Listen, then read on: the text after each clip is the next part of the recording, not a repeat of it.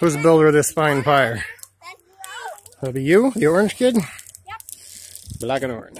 Look at this thing. Speaking of black and orange, some nice flames.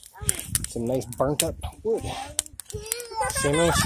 Gonna be, but you need to be safe. Yes, that's why we're all a long ways away from this fire. Right, we're on the outside. As you can see, it's getting pretty big. It really Certainly the is. being in there 'cause it's a nice boundary. Well contained. Yeah, I'm gonna line that this summer with bricks and stuff. Yeah. Hmm?